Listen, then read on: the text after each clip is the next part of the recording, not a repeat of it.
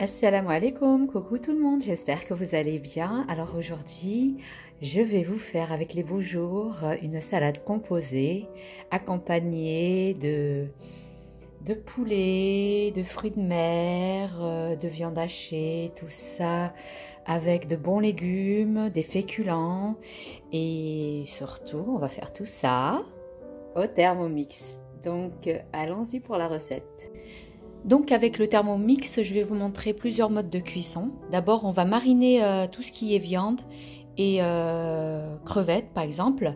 On va passer d'abord euh, aux marinades. Puis après, je vais vous montrer les différents modes de cuisson, que ce soit vapeur, cuit dans l'eau, sur plusieurs étages.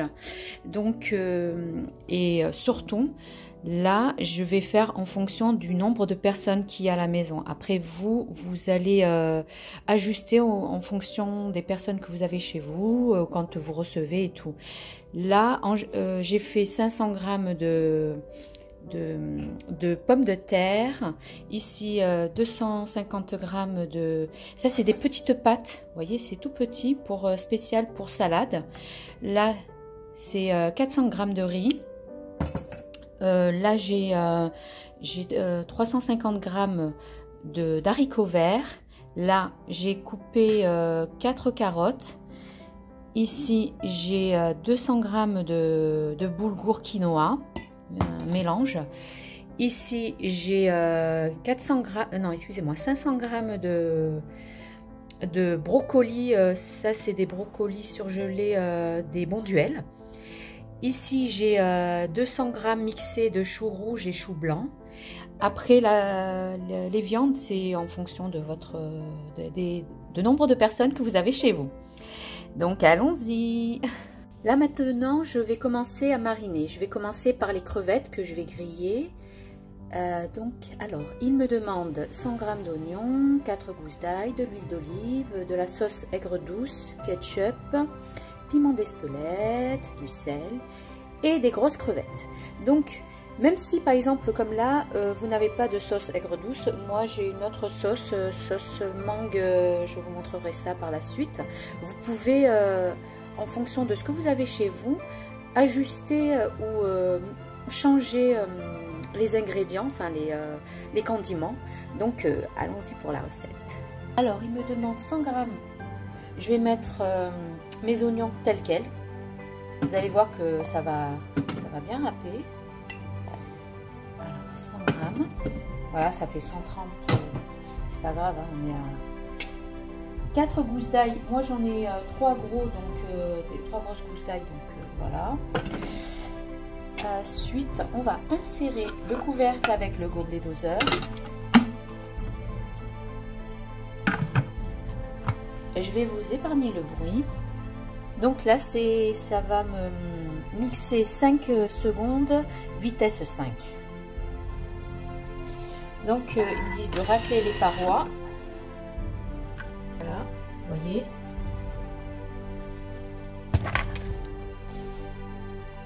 Puis après, on va mettre 50 g d'huile d'olive. Je vais mettre 50 g d'huile d'olive.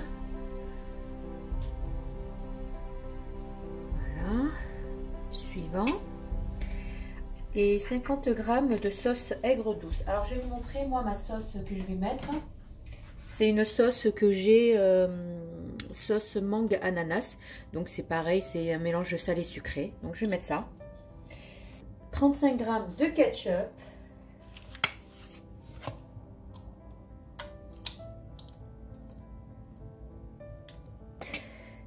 Une cuillère à café rase de piment d'Espelette.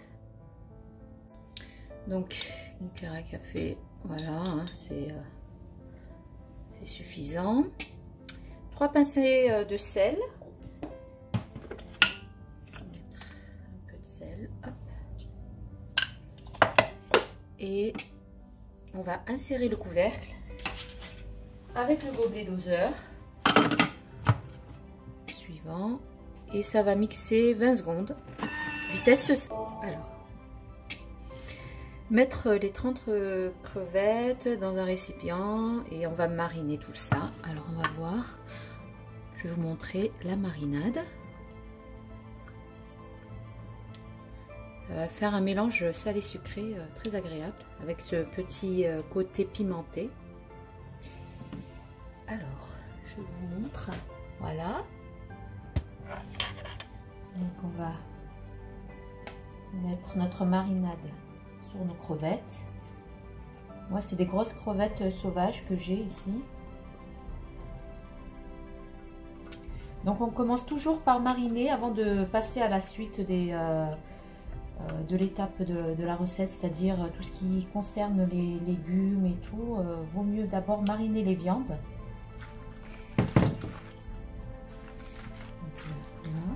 Moi, je vais rajouter personnellement vous pouvez rajouter, hein, comme je vous ai dit, euh, au gré de vos envies, je vais rajouter un peu de persil.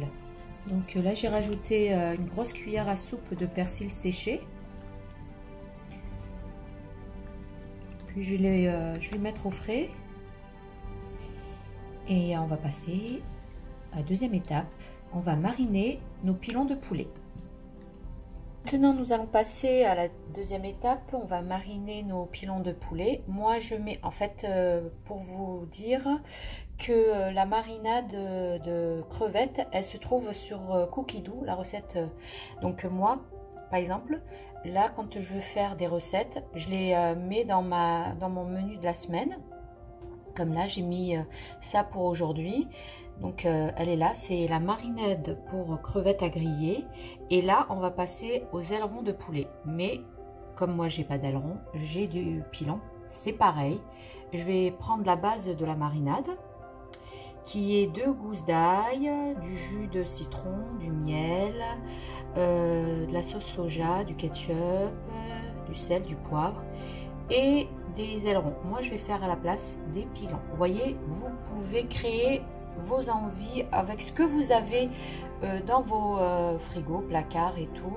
Vous prenez la recette de base et vous euh, faites à votre sauce, entre guillemets. Donc, on va passer maintenant à l'étape de la recette.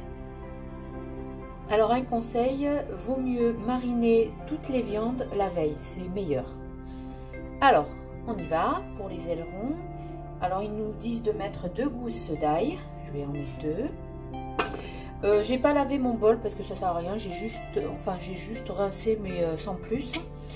Insérer le couvercle avec le gobelet doseur.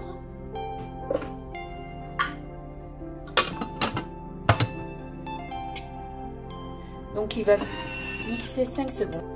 On va racler les, euh, bords. on va rajouter 20 g de jus de citron.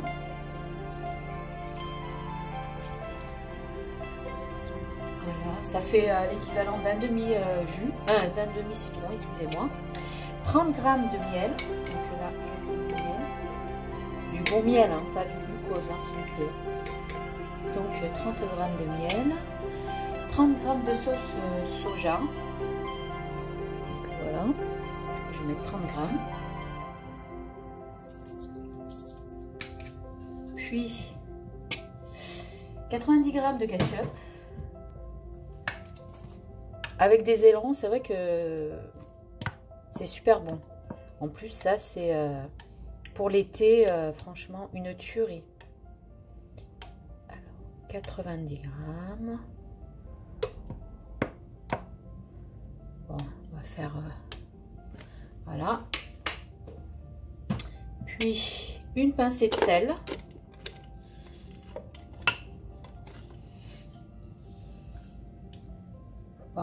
Mettre trop parce qu'il y a la, sauce soja. Une pincée de poivre.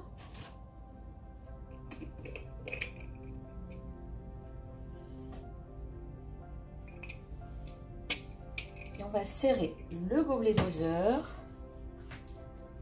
Le, le couvercle avec le gobelet doseur. Voilà. Et il va mélanger tout ça vitesse 2. Pendant 10 secondes, vitesse 2 suivant, ben, on va transvaser dans un récipient. On va mettre, euh, bon moi je vais mettre directement dans mon plat. On va mettre les ailerons. Préchauffer le four à 220 degrés. On va les faire cuire au four. Moi je vais les laisser mariner minimum une heure. Mais comme je vous ai dit, c'est meilleur euh, fait la veille. Toutes les, euh, ce que je vais vous présenter là, faites-le la veille. Hein. C'est encore meilleur. Mettre les ailerons. On va les placer au four. Alors là, il y a marqué 15 minutes, mais moi, comme c'est des pilons, je vais rajouter la cuisson entre 25 30, mais après, il faut rectifier, quoi. Il faut, vérifier la cuisson. Voilà, et on va passer à l'étape suivante. Comme je vous ai dit au début, euh, j'ai pas mis trop de... Comme là, j'ai fait 4 euh, pilons, euh, ça suffit largement. Comme il y aura pas mal de petits accompagnements à côté, pour moi, ça suffit. On va mettre notre sauce barbecue. Donc, laissez mariner, hein, comme je vous ai dit, laissez mariner, bien mariner l'idéal euh, la veille. Et après, vous préchauffez votre four 220 degrés, et, euh, enfourné et à surveiller la cuisson. Je vais laisser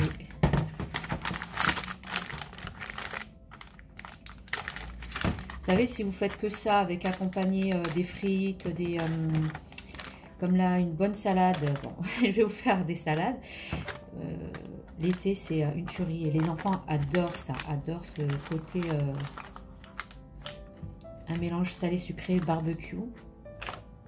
Avec, euh, Inch'Allah, les beaux jours qui arrivent.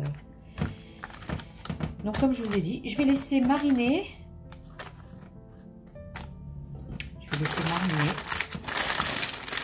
Et on va passer à l'étape suivante de la recette. On va faire des brochettes de poulet. Là maintenant, nous allons passer à la marinade de nos brochettes de poulet. Cette fois-ci, on va passer en mode manuel, c'est-à-dire je vais faire ma recette de... Je vais pas prendre celle de cookie doux, mais il y a, d'autres recettes de brochettes de poulet à l'intérieur tout aussi succulentes. Là, moi, je vais prendre une recette simple pour vous montrer que vous pouvez même passer en mode manuel. Donc, je vais mettre euh, deux oignons, voilà, je vais les mettre à l'intérieur. J'ai pas lavé mon bol, ça sert à rien parce que c'est encore meilleur avec les petites euh, marinades qui restent du poulet. Je vais fermer. Et je vais faire 5 secondes. 5 secondes. Et je vais euh, faire vitesse 5. Donc on va voir.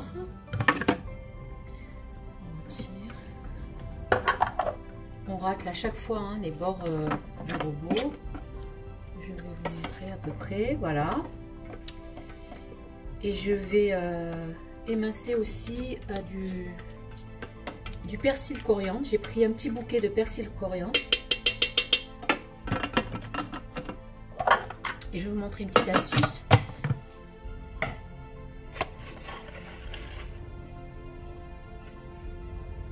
Une petite, astuce, excusez-moi. Euh, nous allons démarrer, on va poser le couvercle, on enlève le gobelet doseur. Et on va euh, actionner vite la vitesse, vitesse sur 6,5 et on va faire rentrer.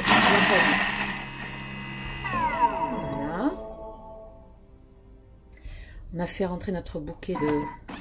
Vous voyez, on se casse pas la tête à, à émincer. On racle bien. Et on va redonner à notre cou un coup de... Voilà. On va donner un autre coup. Je vais vous montrer. Et on va mixer 5 secondes. Comme ça, voyez Position mixage. bon. Donc, euh, vous voyez, je vais en prélever un peu, je vais le mettre dans ma viande hachée et le reste, je vais le mettre dans mes brochettes de blanc de poulet. Donc, comme je vous ai dit, je vais en prélever un peu, je vais le mettre dans mon... Voilà. Un peu comme ça. Et le reste, je vais le mettre dans ma marinade de...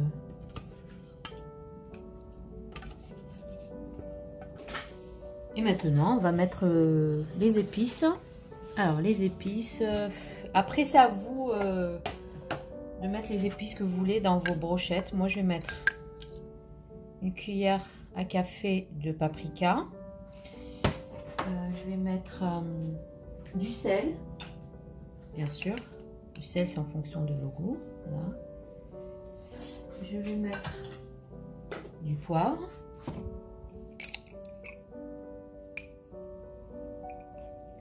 Une petite euh, cuillère à café de, de, poivre. Après, vous pouvez mettre les épices du genre volaille comme ça, comme vous voulez. Moi, je vais rajouter un peu de, cumin, juste un soupçon de cumin. J'aime pas trop le cumin. Enfin, faut pas trop en abuser aussi du cumin. Donc euh, voilà, le petit soupçon de cumin.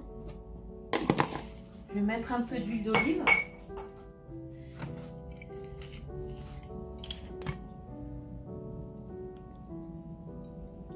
Comme on dit chez nous à, l'œil, euh,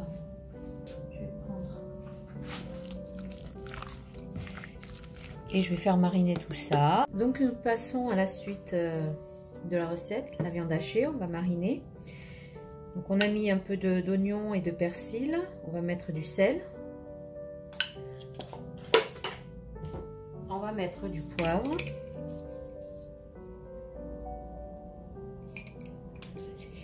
Et euh, je ne sais pas si vous avez un grand frais à côté de chez vous, mais je vous conseille ce mélange de kfta.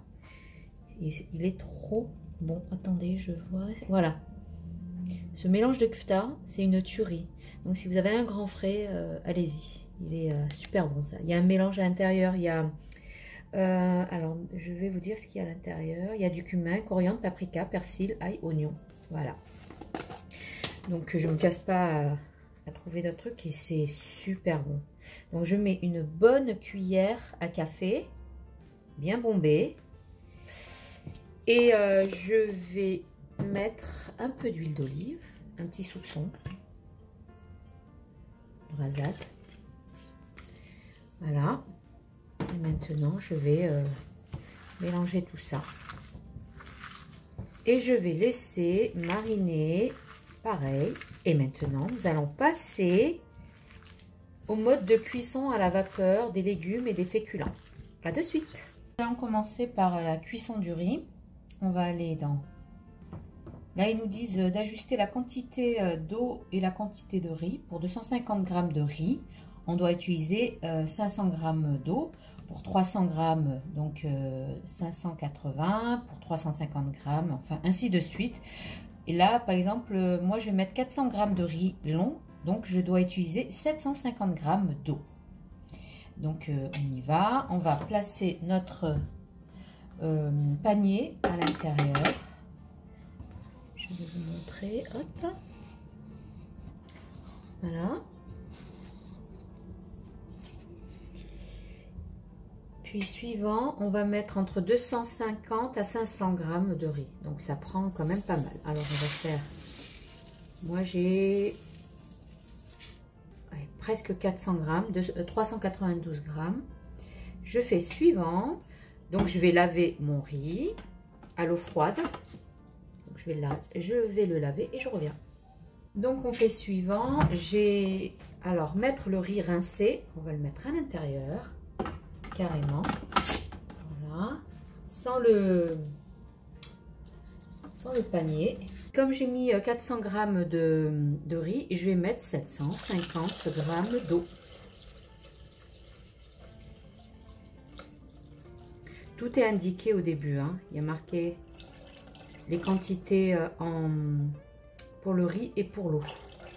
Alors 750 grammes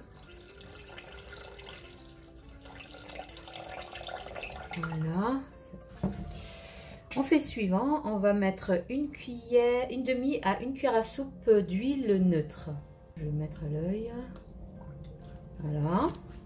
Suivant, une cuillère à café, une demi à une cuillère et demi à café de sel. Voilà.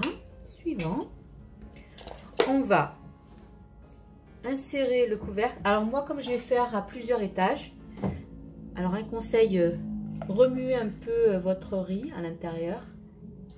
Voilà, moi je le remue bien. comme ceci. Là, ils me disent euh, mettre le panier cuisson par-dessus. Mais moi, comme je vais faire une multi-cuisson, je vais mettre mon varoma à la place. Et je vais mettre mes pommes de terre pour que ça fasse, comme on dit, une pierre de coups. Mes pommes de terre. Et je vais mettre à côté aussi mes carottes. Je vais mettre par-dessus mon panier que vous voyez en haut. Et je vais mettre par-dessus mes haricots surgelés, verts surgelés qui vont se... Voilà. Vous voyez On a une multi euh, sur plusieurs étages. Ça nous évite de sortir 46 000 casseroles. On fait suivant et là ça va se mettre en mode mode rice cooker, voyez, pendant 28 minutes. Moi, je passe à l'étape suivante. Oublié de mettre aussi mes, mes euh, brocolis, donc je les ai mis. Vous voyez, j'apprends avec vous, hein. Donc je fais je vais voir le riz s'il a cuit, mais il fallait pas que je fasse un mode de rice cooker. Donc, allez, on apprend. On apprend de ses erreurs, comme on dit. Là, le riz, je pense qu'il est bien cuit. Je vais voir. Hop. Regardez. Oui, il est super bien cuit. Je vais voir, je vais prendre une spatule. Oui, il est bien cuit. Ok, donc je vais transvaser ça, je vais le laisser de côté pour refroidir, comme ça je, vais l'utiliser en salade.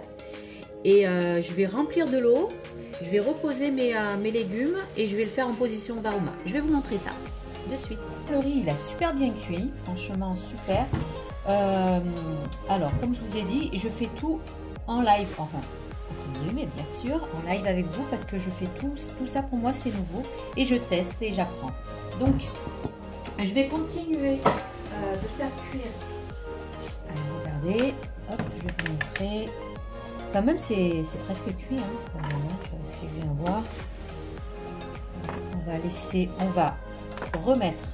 Je vais mettre de l'eau dans mon varoma, dans mon bol. Et là, on va faire en mode manuel. Donc, je vais faire, hop, balance. Je vais mettre de l'eau pour faire cuire à la vapeur tout ça. Je vais mettre un litre d'eau à peu près.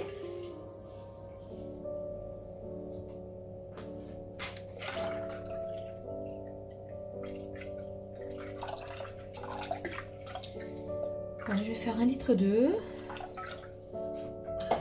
Je vais mettre mon couvercle. Alors, je vais vous montrer comme ça. Voilà je vais poser mon panier vapeur. Je vais refermer. Et je vais, je vous montrer, on va faire en manuel. Je vais faire 20 euh, minutes, 25 minutes. 25 minutes. Varoma à 25 minutes. Température Varoma. Et euh, vitesse 1. Voilà, à de suite. Voilà, nous arrivons maintenant, on fait stop. Alors faites attention quand vous soulevez votre couvercle, toujours d'avant, en arrière. Voilà, pour pas vous prendre on va voir, on va... Oui, c'est bon. It's good. Je vais voir les pommes de terre. Avec les carottes en bas. Doucement, bien sûr. Oui, les pommes de terre sont cuites. Alors, je vais faire sauter euh, mes pommes de terre. Je vais, faire, euh, je vais les faire sauter avec un peu d'ail, euh, de persil. pareillement pour les Pareillement pour... Regardez, ça, ça garde la couleur verte. Hein. Franchement, c'est superbe. Alors, je vais faire sauter aussi les, les brocolis, les haricots verts. Et je vais faire cuire après mes euh, pilons de poulet, en fait non, les pilons de poulet je les ai faites au four, mais il ne me reste plus qu'à faire euh, cuire mes euh, brochettes et ma et on se retrouve pour le dressage. Et voilà, nous arrivons maintenant à la fin de notre vidéo. J'espère qu'elle vous aura plu. Bon, je vous ai fait passer euh, l'étape de faire sauter les légumes à la poêle parce que tout le monde sait faire ça. Donc, euh, j'ai voulu euh, vous montrer, vous accentuer cette vidéo sur les différentes étapes de cuisson au Thermomix. Et donc, comme vous avez pu le constater j'ai fait des erreurs, mais euh, c'est très rattrapable et euh, c'est pour vous montrer que même si on fait des erreurs, on peut vite euh, trouver une solution. Et voilà, donc j'espère que cette vidéo vous aura plu. Likez, commentez, partagez. Si vous n'êtes pas abonné à ma chaîne, euh, abonnez-vous. Je suis aussi sur d'autres réseaux sociaux, sur Instagram avec le même nom, Cooking with où je publie beaucoup de recettes euh, sucrées salées. Donc rejoignez-moi aussi sur Instagram. Sur ce, je vous dis, prenez bien soin de vous. À la prochaine vidéo. Bye bye.